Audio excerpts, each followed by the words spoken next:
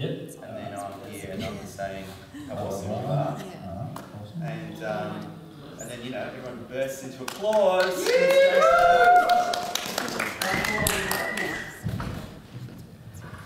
Noah was a complete bastard in the Australian sense, but it wasn't all his fault, as I'll explain in a minute. Uh, you probably have seen pictures of the story. There's a guy with his family, and they're all happy and smiling, and there's a big boat behind him, and a line of animals coming onto the boat, and they're being ticked off. Uh, there's probably a big rainbow in the sky, making it all look really beautiful. If you hung around a church or a synagogue long enough to see the pictures that are drawn for adults that actually reflect the story as it's in the Bible, you'd see him looking much grimmer and sterner there, looking kind of protectively around his family. Uh, the storm clouds in the background are a lot greyer, and kind of off in the corner, there are these uh, families and people kind of pleading and begging and looking really desperate as the uh, water comes up around their ankles. And of course, Noah's not going to have a bar of them. Uh, they are not coming onto the ark. Why? Well, we're not really sure. It's got something to do with how wicked and sinful and evil they are, even their unborn children, apparently. So God is about to murder them all. This is a horror story, not a kid's story. Now, it doesn't get much currency in the churches anymore, although some of us like to argue about whether it ever really happened. But it has been getting a lot of currency in Australian society, in the secular sphere. We have had our current Christian Prime Minister and the last Christian Prime Minister we had, and the atheist Prime Minister in the middle, all try and reassure us that we're safe and well here on Ark Australia. Sure, there might be uh, storms out there on the horizon and other people are starting to suffer, it's never really said explicitly, but kind of implicitly, you know, it's their own fault. They've been doing stuff, and now, you know, the, uh, the uh, chickens are coming home to roost, or whatever that saying is. And uh, we are going to be safe here on our ark. We'll be okay. It'll all be okay, just as it was for Noah. Uh, we will, of course, as Noah did, let some people on the ark with us as long as they form a neat, orderly queue and are processed appropriately, and as long as we can control who will come onto our ark, just as Noah did. Now, the difference is Noah, when he got in his ark, if you read the uh, instructions for building it, it didn't have any portholes, so it's kind of easy to get in there and ignore the fact that all these people are suffering and drowning outside. But in Australia, we have social media, we have television shows, we have all kinds of newspapers that are constantly telling us that things aren't so great out there for other people.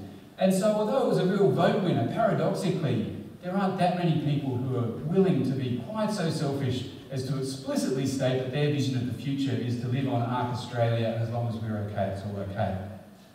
But that's all right, there are other Bible stories about the future, and I want to share a few of them with you tonight, as well as their secular equivalents.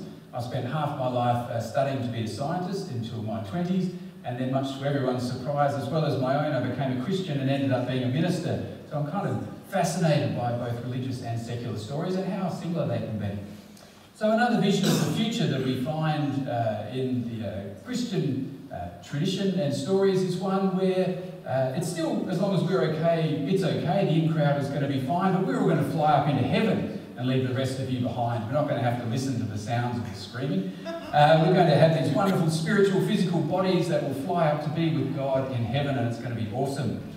There is a secular equivalent. Uh, there's a lot of effort put into convincing people that we need to spend billions of dollars investing in NASA so that we can fly an elect group of human beings off this planet uh, and save the human species before either an asteroid hits us or more likely we come to the point of ecological collapse and it's too late.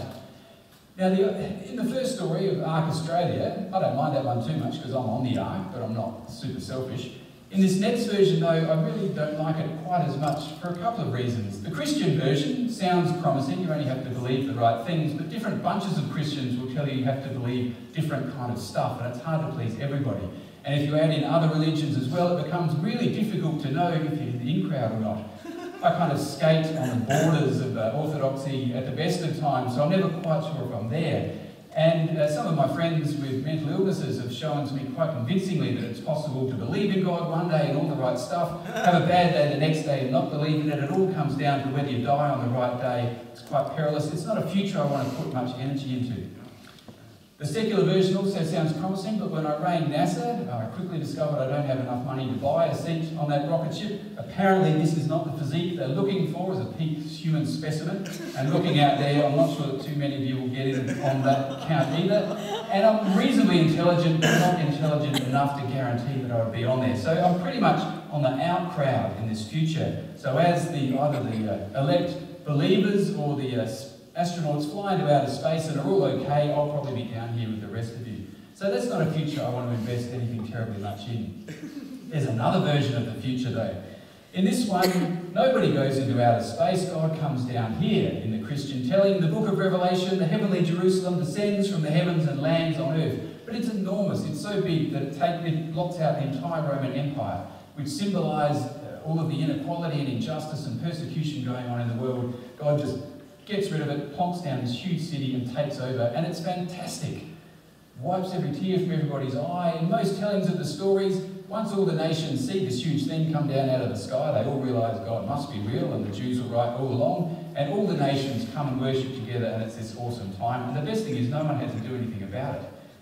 In the secular equivalent, of course, God doesn't fly down from heaven. These godlike corporations are going to come along and they're going to solve the energy crisis, the water crisis, the food crisis.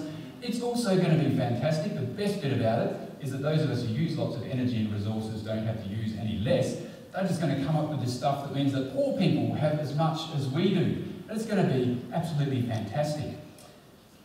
The only problem with this version of the future is it doesn't seem to be true. I think Christians, increasingly after 2,000 years of saying any day now God's going to come down and fix this, it's really starting to get uh, to the point where we're starting to sound silly. 2,000 years is a long time to say tomorrow could be the day. Probably the turn of the millennium was our last serious crack at saying that God was going to come and fix everything. In the secular sphere, it hasn't been 2,000 years, but it has been a long time since the Industrial Revolution. And I think it's pretty arguable, and we've heard from other speakers today, that actually technology seems to be better at widening the gap between rich and poor people than it is at closing it. It appears that it's really not true that if you set up a corporation to make money for shareholders, that they are likely to bring about a more just and equitable society for the poor in particular. So sadly, as fantastic as that vision of the future is, it just doesn't seem like it's going to happen. Too bad for time. Not surprisingly, there's a fourth story. And you've heard quite a few elements of it today. In the uh, secular sphere, the transition movement talks about energy descent pathways. So they say we don't want an apocalypse where only a few people are okay, and we just don't believe in this utopia where corporations are going to fix it all for us we need an energy descent pathway. And basically that means if your lifestyle, like mine, is propped up by a lot of energy and resources, we're going to have to use significantly less of it, and poorer people will therefore get access to more of it. It's the kind of story that poor people love to hear, and rich people are not so keen on. It's the kind of story you need to come here to hear speakers talk about every now and then to get re-inspired to go, yeah, that's right, that really is what we need to be doing. I guess in the Christian sphere, the equivalent would probably be called something like trying to actually be a Christian or uh, doing something that Jesus said. Equally uh, unpopular, particularly amongst those of us who have lots of resources. Again, most of the stuff Jesus said goes down a treat in poor countries, not so it here in wealthy countries. And to me, that's one of the most interesting parallels. We kind of we know we need these energy descent pathways. We're hearing about all kinds of solutions here, and part of our brain's going, yeah, absolutely. And some part of us, if not now, then sometime over the next few weeks, will be going, oh, gee, you know, if I can find someone to distract myself from that, that would be awesome. Let me share with you, I think, a couple of things that Christians have learned about this dilemma over the last 2,000 years. We've had 2,000 years to make mistakes. Hopefully, we've learned a couple of things out of it. The environment movement probably has more like 200 years to make these same mistakes, and uh, we're well into that 200 years by now, I should say. We might have a decade left. Okay, so what do we do as Christians? Well, we come together and we tell each other the same stories over and over again. One of the things that really disturbs me as someone who preaches quite often is that I'm talking to people that have probably heard someone talk about the same story at least five times in their lifetime, maybe ten. Why do we do that? Well, we do it because there are so many other stories out there that want to convince us that we are worth what we consume, that we don't have to worry about the poor, that everything we're doing is just fine, and that we should just watch some TV and relax and go back to sleep. We need to hear these stories over and over again, and we need to tell the stories and have a chance to talk about how we fit into the story. And it just does seem that when you stop doing it, you kind of eventually manage to convince yourself to lose interest. So days like today are incredibly important not just once, but dozens of times. And many of us here have been to many events like this, and we kind of know that we need to be re reminded of the stuff that we know is important over and over again. So it's important to kind of hear these good words and to speak these good words. Of course, it's also important to do something about them. Another thing that Christians have been really good at, and Protestants in particular, is coming up with the most important thing and starting an argument about it with whoever it is that's sitting next to you till you get to the point where you refuse to talk to each other anymore because they don't see the most important thing the way you do. It's awesome. We now have more Protestant denominations than there are stars in the visible sky, and I think that is quite an achievement. I think it's a path that the environment movement can ill afford to go down. However, all of us have things that are really important to us, and uh, many of us have thought about you know, the one or two things so much that we know the best and most perfect way to do it. And it's unlikely that many people are going to quite agree with us because we all also compromise constantly. There are thousands of things I compromise about in my life, as we all do. Unless we can all collaborate and cooperate with each other, regardless of the fact that we have different things that we're focusing on and maybe even don't hold them to be particularly important, but as long as we're all heading in that same direction of this energy descent pathway, um, we're not going to get to the kind of future that we've been talking about today. So uh, let's not set the number of Protestant denominations as the number of uh, environmental movements in the world or Bellingen for that matter. Thirdly, I should have said something about the Samaritan earlier. All right. Oh, the other thing about the compromises is one of the reasons that we meet as Christians constantly is because we do compromise and want to compromise continuously and we need to be re-challenged not to. A third thing, I guess, comes back to the stories that I've been telling, all of which tend to get to this point where there's an in crowd and the out crowd. And the encouragement is that as long as we're okay, it's all okay. And as you've seen, they're embedded in the Christian tradition and in secular society. But one of the stories that uh, Jesus told was about the Samaritan. And uh, everyone knows the story of the Good Samaritan, or at least they've heard of the Good Samaritan and might even think that's a good thing to be. And the basic story is this guy gets beaten up and left for dead on the side of the road. A priest who is good at hearing good words and repeating good words to people and very wise, uh, is a valuable member of his community, but he hears lots of good talks, he gives lots of good talks, but he doesn't actually do anything practical.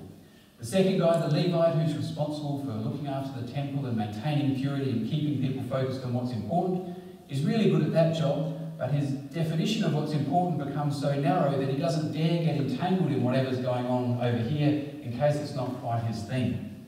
The third person that comes along is the Good Samaritan, who, of course, helps the guy.